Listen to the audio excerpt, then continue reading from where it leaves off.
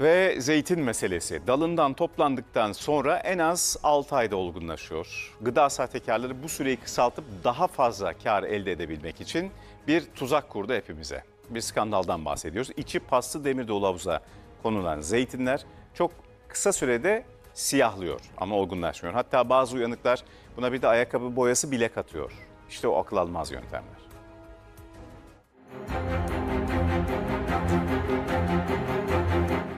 Bir kilo usta bak buyurun. Bir kilo zeytin 200 lira usta. Zeytin alırken nelere dikkat ediyorsunuz?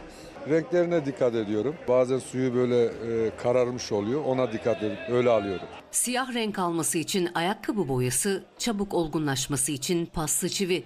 Fırsatçılar bu kez de gözünü zeytine dikti. Her yerde hile var kızım. Bir pul biber alıyorum demir katıyorlarmış içine. Artık güvenilecek bir şey yok yani. Kahvaltılarımızın vazgeçilmezi zeytin. Normalde doğal yollarla 6 ayla 1 yıl gibi bir sürede olgunlaşıyor ve sofralarımıza geliyor. Ama gıda sahtekarları bu süreyi kısaltmak için çeşitli hilelere başvuruyor. Bu demir oksitlenmeyi hızlandırıyor. Burada oksitlenme ile birlikte yeşil zeytin gitgide kahverengi ve siyah renk alıyor.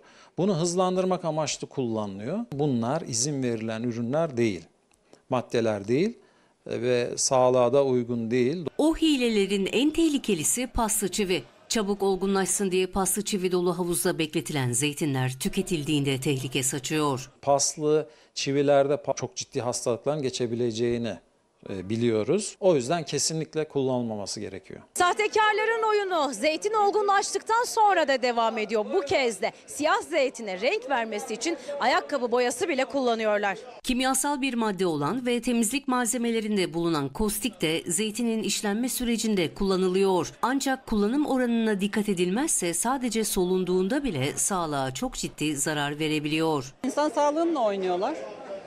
Hadi kostik diye bir şey var siyahlaşması için bir de onu kullanıyorlar. Hepsini biliyoruz çünkü.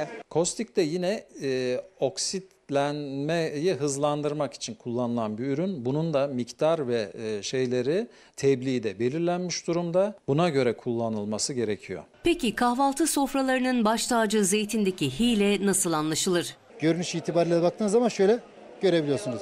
Cam gibi gözükür. Bakın üzerindeki etinde herhangi bir işlem var mı? Yok. Sadece baskıya girmiş. Erik gibi yediniz de herhangi bir şey yok. Bu zeytin demek ki doğal, orijinal bir zeytindir efendim.